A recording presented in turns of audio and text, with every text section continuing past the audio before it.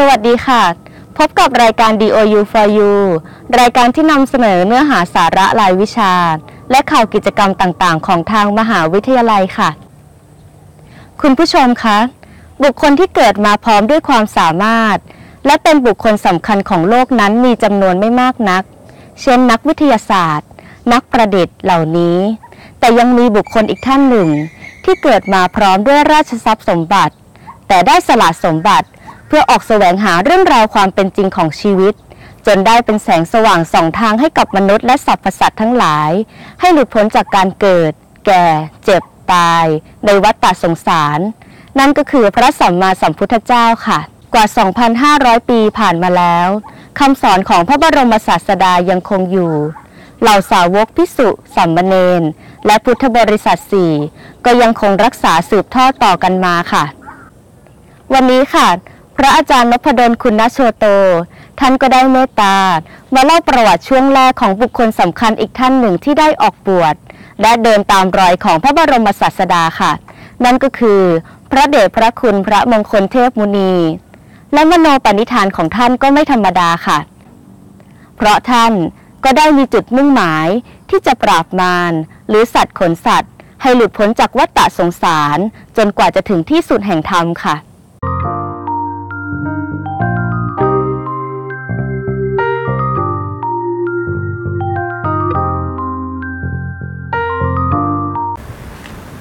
เจริญพร ท่านผู้ชมรายการและนักศึกษา DOU ทุกท่าน ในครั้งนี้เรามาพบกันในเนื้อหา ประวัติของพระมงคลเทพมุนี หลวงปู่สอยวัดปากน้ำภาษีเจริญ หรือบางท่านก็จะเรียกท่านว่าหลวงพ่อวัดปากน้ำหลวงปู่สอยวัดปากน้ำภาษีเจริญ ท่านเกิดในวันศุกร์ที่ 10 เดือนตุลา ปีพุทธศักราช 2427 ซึ่งตรงกับ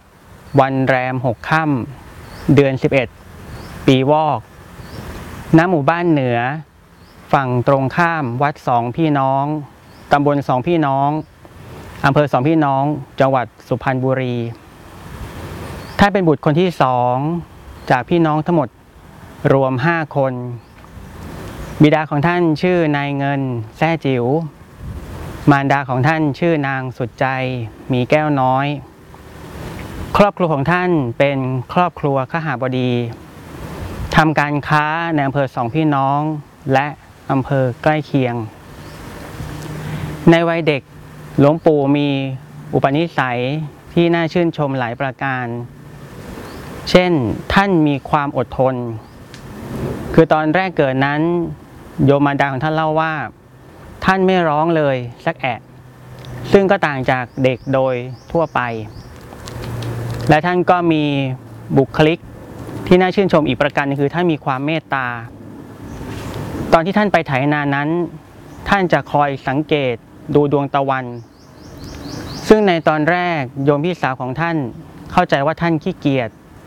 คอยมองแต่เวลาที่จะเลิกงาน แต่แท้จริงแล้วท่านถือคติ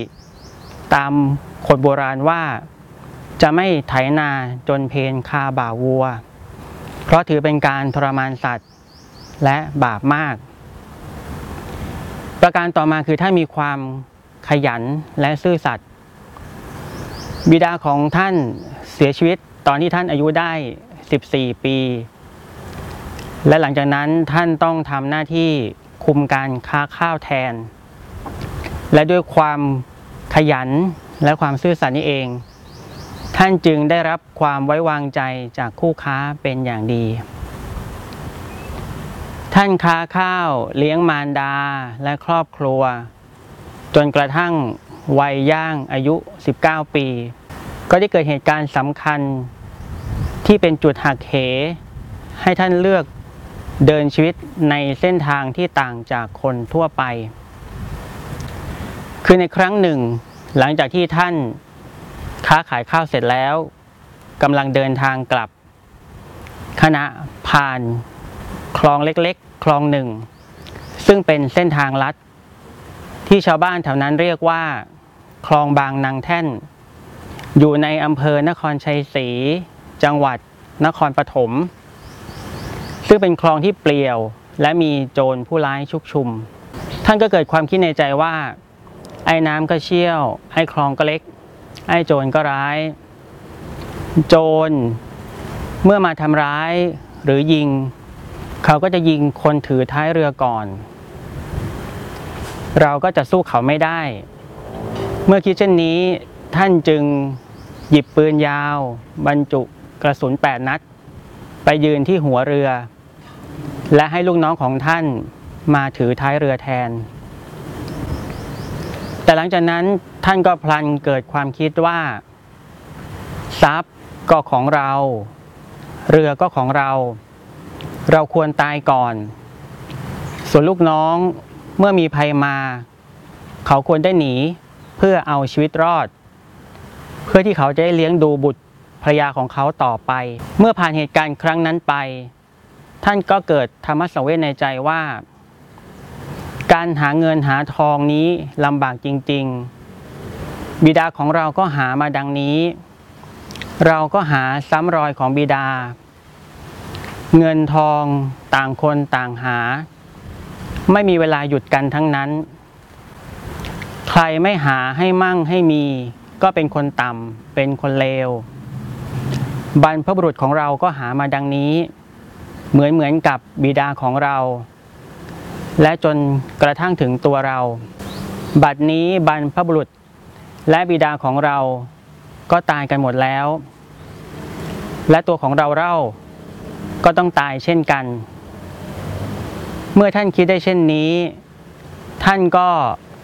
ล้มตัวนอนแผ่ณท้ายเรือนั่นเอง แล้วก็ทำความรู้สึกเหมือนกับว่าได้ตายไปแล้ว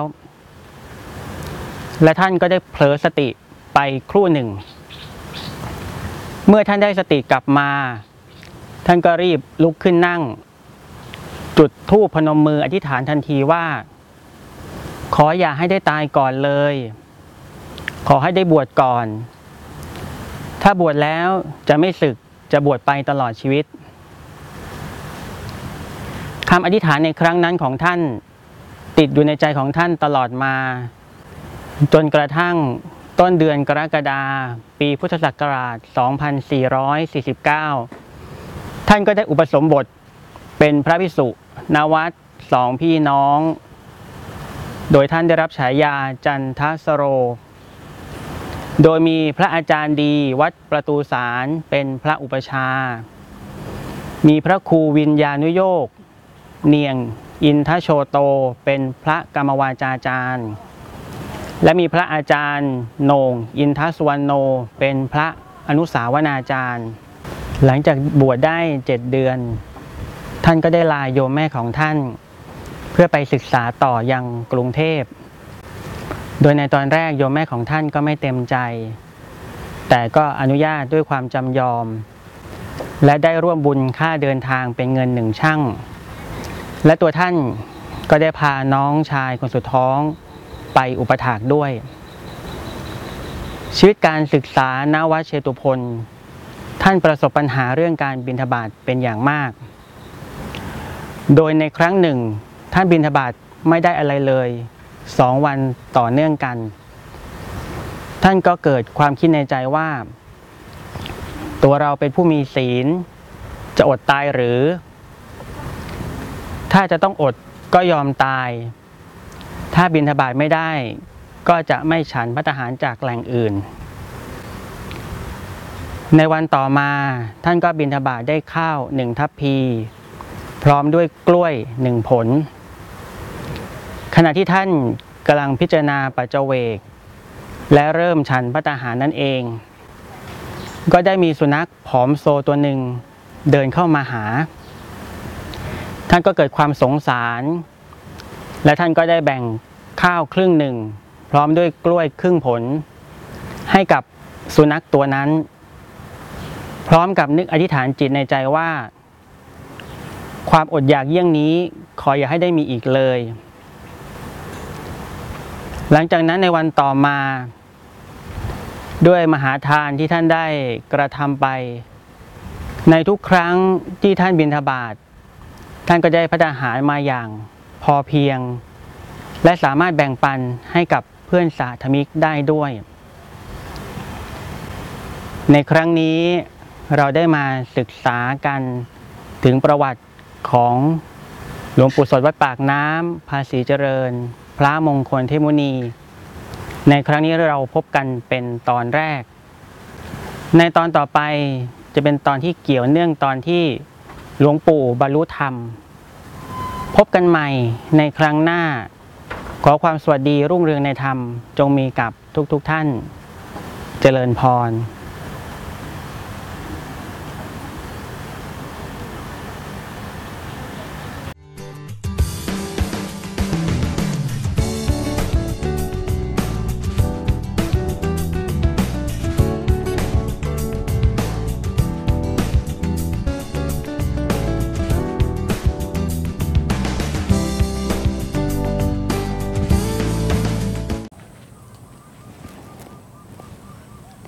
ราบขอบพระคุณพระอาจารย์เป็นอย่างสูงค่ะ ที่ได้เมตตามาเล่าประวัติความเป็นมาของพระเดชพระคุณพระมงคลเทพมุนีค่ะ คุณผู้ชมคะ เป็นอย่างไรกันบ้าง จะเห็นได้ว่าพระมงคลเทพมุนี ท่านมีความปรารถนาที่จะออกบวชตั้งแต่อายุ 19 แต่ด้วยความที่ว่าท่านยังมีภารกิจที่จะต้องเลี้ยงดูครอบครัวให้มีรายได้ และมีความสุขสบายตลอดชีวิต แต่เมื่อท่านได้ออกบวชแล้ว ท่านก็ได้ออกแสวงหาความรู้ของพระสัมมาสัมพุทธเจ้า ตั้งแต่ครั้งแรกที่บวชเลยทีเดียวค่ะ ส่วนครั้งหน้าจะเป็นอย่างไรนั้น อย่าลืมติดตามรับชมกันนะคะสำหรับวันนี้ รายการ DOU for You ก็หมดเวลาลงแล้วค่ะ ท่านผู้ชมสามารถติดตามรายการย้อนหลังได้ที่ www.dmc.tv และสามารถศึกษาข้อมูลเพิ่มเติมได้ที่ www.dou.us ค่ะ สำหรับวันนี้ทิพย์และพระอาจารย์ต้องขอลาไปก่อน แล้วพบกันใหม่ในครั้งหน้า สวัสดีค่ะ